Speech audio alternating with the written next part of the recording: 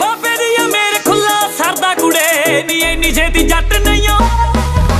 ਬਾਬੇ ਦੀ ਮੇਰੇ ਖੁੱਲਾ ਸਰਦਾ ਕੁੜੇ ਨੀ ਐਨੀ ਛੇਤੀ ਜੱਟ ਨਹੀਂ ਓ। ਮਰਦਾ ਕੁੜੇ ਲੋਕਾਂ ਵਿੱਚ ਬੋਲਦਾ ਹੋਊਗਾ ਅਸਲਾ।